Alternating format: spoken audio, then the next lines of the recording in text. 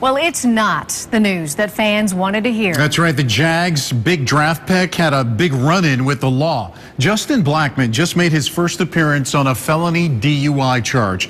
This is brand new video as he arrived at court. He was arrested early Sunday morning in Stillwater, Oklahoma.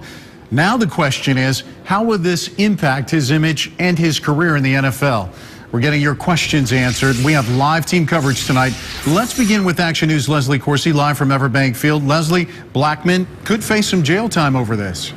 That's right. He could face some jail time, according to one local attorney. Not much, maybe 10 days. But like you said, the bigger question is what kind of impact is this going to have on his career? He's only 22, year, 22 years old, and the season here at Everbank hasn't even started yet.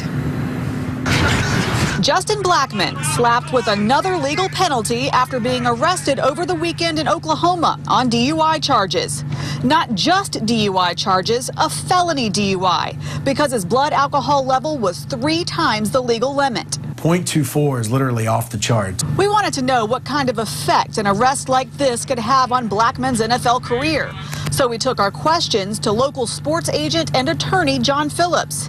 He says off the field, Blackmon could lose some endorsements. On the field, he's eligible for ramped up penalties and, and probably will get a, a suspension.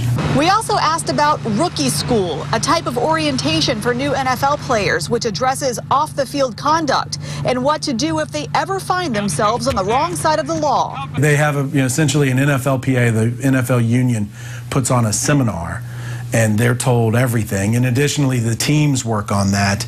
And in this instance, the Jaguars actually had a lawyer go in to, to talk to the Jaguars and say, look, if you're in this situation, do not blow. You know, handle yourself appropriately. Phillips says Blackmon may have been too intoxicated to remember that lesson. And now he says this has become an integrity issue.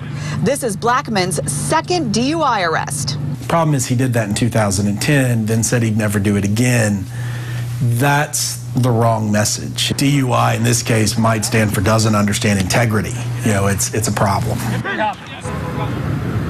Right now, Blackmon is out of jail after having paid a $1,000 bond. Reporting live downtown, Leslie Corsi, CBS 47 Action News. All right, Leslie, thanks.